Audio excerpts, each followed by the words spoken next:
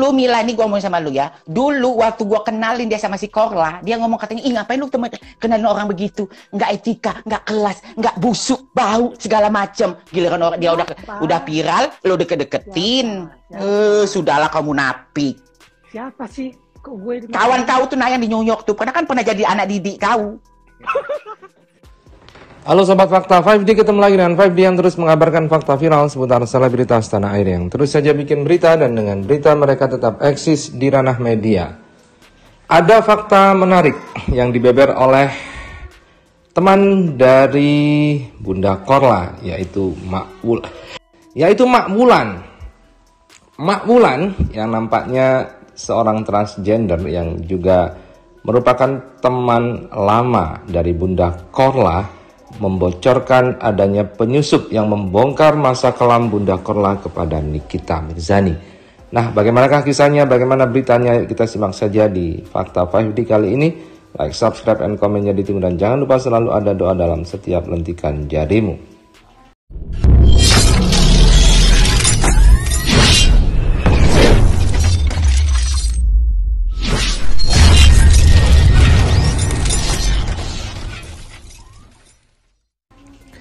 Kita lansir dari sebuah kanal YouTube dengan judul Makbulan, sindir teman Bunda Korla yang membocorkan masa lalu kelam Bunda ke Nikita Mirzani.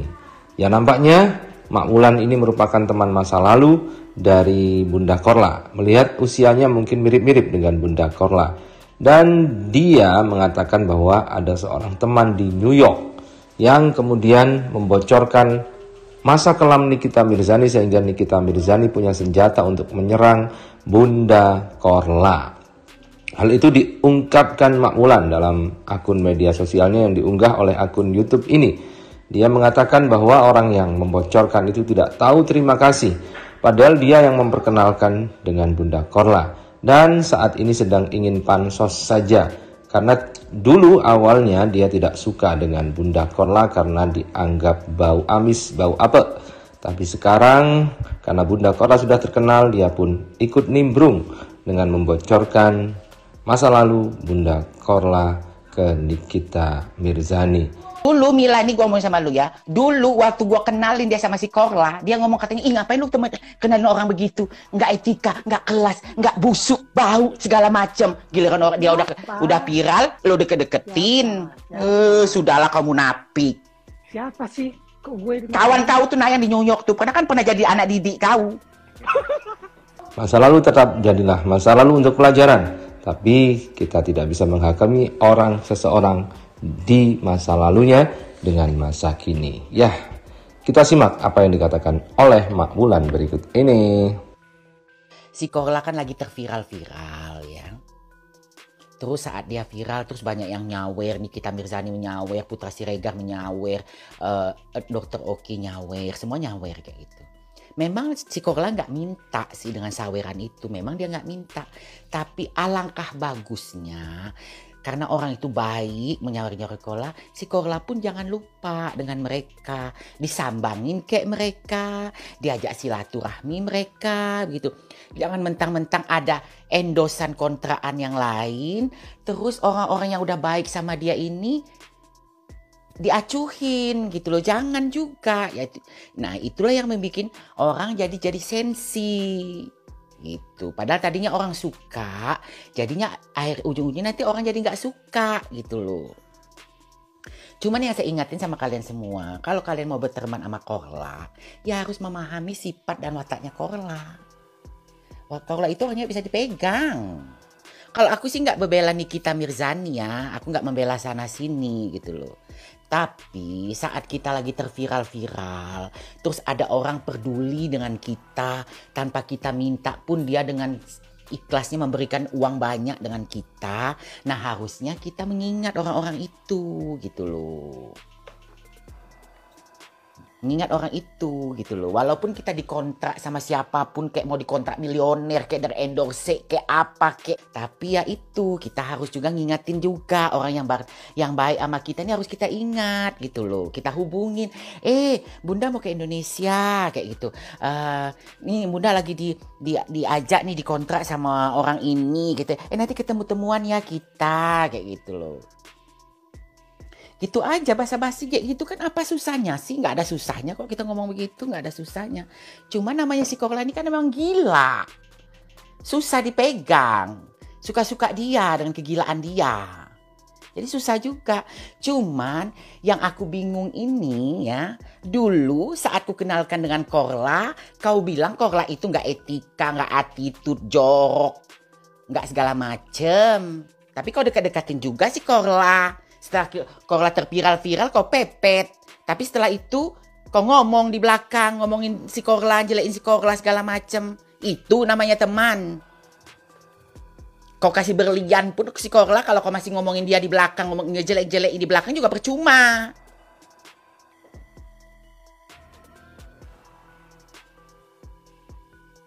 Emangnya nggak ngerti juga aku. Aku nggak ngerti juga antara si Korla sama si brand-brand-brand itu nggak ngerti juga aku. Ya seharusnya si Korla itu melihat kontrak-kontraknya. Jangan jangan mau. Kita harus pinter dong. Siapa yang nyeritain Uma kepo ini? Kau, ya tanya aja sama Nikita Mirzani. Siapa yang ngomongin si Korla? Mana mak tahu. Nah, kita juga sebagai netizen, kalian sebagai netizen ini harus pintar. Harus pintar memilah-milah gitu loh. Jangan kalian mentang-mentang kalian lagi terkorla-korla, terus apa pun yang korla lakukan tuh benar semua juga jangan. Jangan juga kalian begitu, nggak baik juga. Jadi kalau ada si korla itu ada yang salah, kalian tegur. Tapi bukan berarti dibully. Kalau Maulan nggak bela sana sini. Maulan berteman sama Korla udah lama sekali. Tapi Maulan nggak mau, nggak mau deket-deketin dia nanti salah nanti salah pengertian netizen netizen bisa nggak netizen netizen ini nanti emak mepet mepet si Korla karena pengen pansos pengen terkenal juga gitu makanya kan kita serba salah dan juga hidup kita ini kan punya masa lalu jadi sebelum kita ngomongin orang, kita bercermin dulu dengan kita. Kita juga punya masa lalu. Manusia itu semua berproses dalam kehidupannya. Sedangkan konglomerat-konglomerat orang milioner-milioner kayak gitu aja nggak langsung kaya mereka. Mereka bermula dari awal dulu. Semua manusia ini semua dari awal dulu kehidupannya. Berproses. Nih kita tahu dari mana masa lalunya Korla. Kalau nggak ada orang yang membisikin nih kita. Nah, yang bisikin kita itu siapa? Nikita itu nggak akan tahu masa lalu Korla kalau nggak ada yang membisikin ke Nikita Mirzani. Nah, yang membisikin orang yang membisikin ke Nikita Mirzani ini yang jahat. Kalau si Nikita Mirzani itu memang mulutnya ceplas-ceplos. Ceplas-ceplos, pampum, pampum, hantam kromo. Memang mulutnya begitu. Tapi kadang-kadang dia ngomongnya itu banyak benernya. Nah, sekarang yang ngompor-ngompor ini kita Mirzani ini siapa? Itu yang kita bahas. Gak mungkin Nikita Mirzani sampai kecewa begitu dengan Korla. Kita juga lihat ke Korlanya. Bagaimana Korlanya, tanggapan Korlanya kepada Nikita Mirzani. Jadi kita harus bisa memilah-milah. Jangan jadi jangan kita, oh ini salah Nikita Mirzani gitu. Jangan juga. Kita sebagai netizen itu harus pintar. Nikita itu, ya mungkin Nikita ngoceh-ngoceh seperti itu. Mungkin karena dia peduli sama Bunda Korla juga bisa jadi. Mungkin dia peduli, takut nanti si Korla dibodoh-bodohin. Takut Korla nanti mungkin di, dimanfaatin gitu kan. Itu kan jangan jadi jangan karena keemosian Nikita Mirzani itu terus kita anggap negatif juga jangan. Dulu Mila ini gue ngomong sama lu ya. Dulu waktu gue kenalin dia sama si Korla, dia ngomong katanya, "Ih, ngapain lu temen kenalin orang begitu? Nggak etika, nggak kelas, nggak busuk, bau segala macem." Giliran orang dia udah udah viral, lu deket-deketin. Eh, sudahlah kamu napik. Siapa sih? Kok gue Kawan kau tuh nanya di New York tuh, karena kan pernah jadi anak didik kau. Kan pernah dandan-dandan di rumah kau, Mila. eh, bukan sepatu loh, dilempar sepatunya loh. No komen, itu dari kamu. Masa bodoh EGP. Jadi kalau lu ngasih-ngasih sesuatu sama Korla itu cuman apa untungannya? Mau itu numpang pansos gitu. Tapi di belakang orang orangnya diomongin gitu. Nggak usah ngasih-ngasih sesuatu dengan orang kalau orang masih diomongin di belakang. Kalau si sini kita mah kita tahu mulutnya, namanya mulutnya bocor. Jangan pula dia dibisikin. Gue aja kaget, kan si kita sendiri ya bilang di live-nya. Dia tahu dari si Anu. Jadi gue kaget. Makanya gue langsung ngomong itu karena karena ada ada di kita ngomong begitu. Eh, ah, Mm-mm. oh, Gue kaget sini kita ngomong kan di live-nya nyebut nama orang itu. Oh, Gua aja kaget. Langsung langsung si Korla kan ngomong, "Eh, lu aja diomongin sama dia." Katanya kayak gitu. Kan dia gituin sama si Korla tadi kan. Ah, ah. Mm. Kata si Korla lu juga diomongin katanya, tapi biarin aja kata sini kita kan. gue emang tahu semuanya ya cerita-cerita semua ada ya gue tahu ya teman-teman gue juga cuman kalau untuk ngebahas kalau gue tanya gue no comment aja deh ntar gue takut terlibat kita semua punya masa lalu ya Iya.